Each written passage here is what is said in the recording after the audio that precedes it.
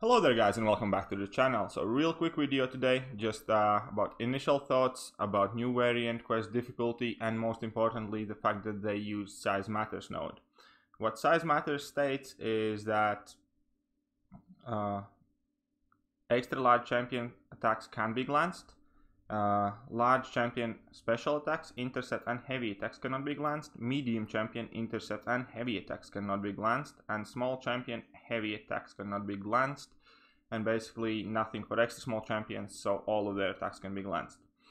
Uh, and this buff only applies to attackers. So what does it basically mean is that you can still use your medium and small and large champions so long as you play a strong heavy game uh, in conjunction to that uh, immediately uh, you're going to notice that Archangel is going to be extremely useful in this content because he mainly relies on his heavy attacks anyways and once he gets his Neuros on he should be able to operate freely within this node.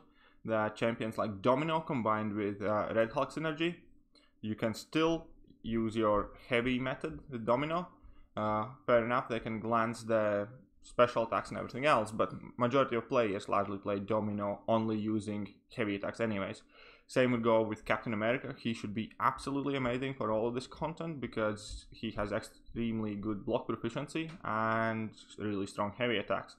Even Stark Spider-Man, you can ramp up your 10 poises and play through heavy attacks. That isn't such a big deal. So if you're struggling on your uh, roster with large champions, uh, definitely consider these options. Even Star-Lord can still ramp up his damage via heavy attacks. It's going to take some while, uh, but he can still be viable in certain fights here.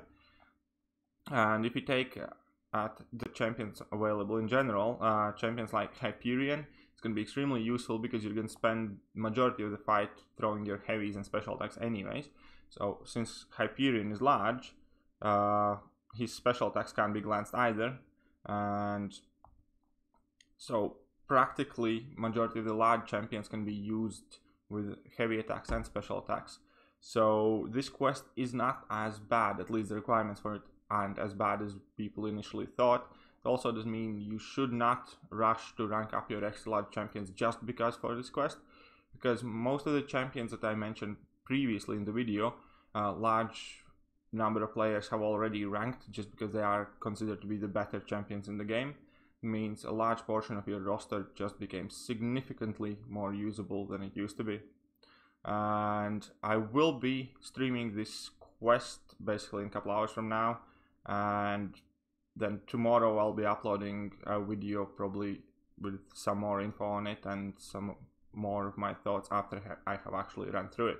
So anyways guys, I hope you liked the video and if you did, feel free to leave a like, share it with your friends and give it a sub. But yeah, that's about it for me now today. Uh, uh, and I'm gonna see you guys next time.